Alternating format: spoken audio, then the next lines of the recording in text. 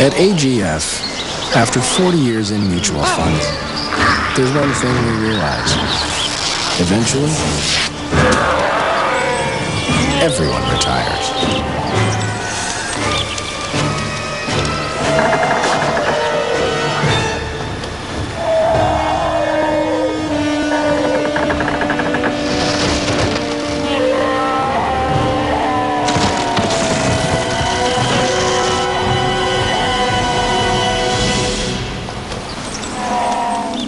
AGF Mutual Funds. What are you doing after work?